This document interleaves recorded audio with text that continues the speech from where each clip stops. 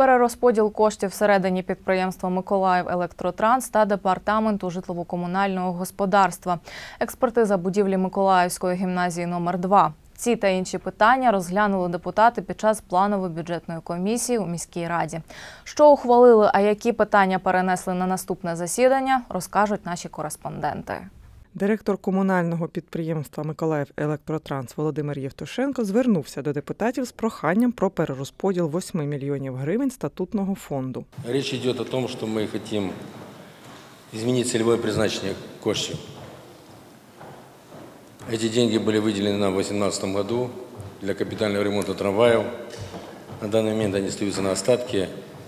И нужно заплатить за ЕБРРовский кредит, который сейчас уже мы закончили, заключ- закончили документы, подготовку документов, подписали контракт на поставку троллейбусов. И эта сумма является оплатой за страховку там, и так далее по, кредит- по этому кредиту.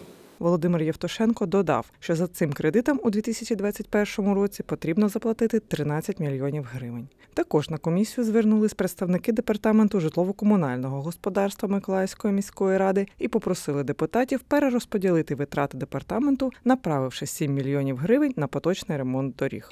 Видатки стосуються перерозподілу по таким напрямкам: капітальний ремонт е, мереж зовнішнього освітлення 2 мільйони 660, внески до статутного капіталу суб'єктів господарювання.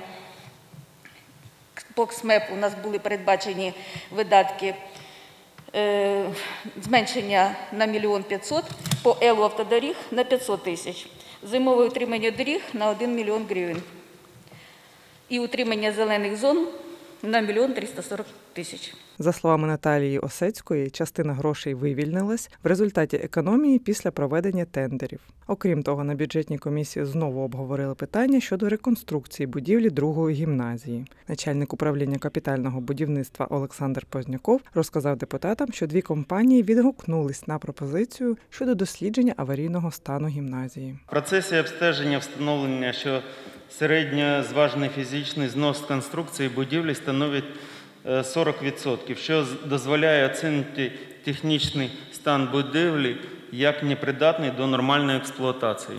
Олександр Позняков каже, це означає, що деякі приміщення повинні бути обмеженими, куди діти і персонал не допускатимуться. Це музей, бібліотека, кабінет номер 11 і коридор між ними. Я считаю, необходимо провести инструментальную экспертизу, которая покажет прогиб балок, состояние фундаментов, есть ли просадки на самом деле, либо это вызвано обрушение намоканием крыши. То есть там есть э, повреждения шифера, которые не устранялись э, поточным ремонтом.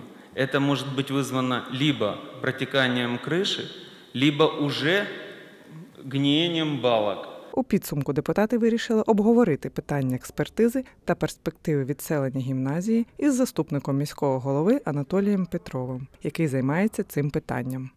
Олександра Супрун, Олексій Семенуха для МСН.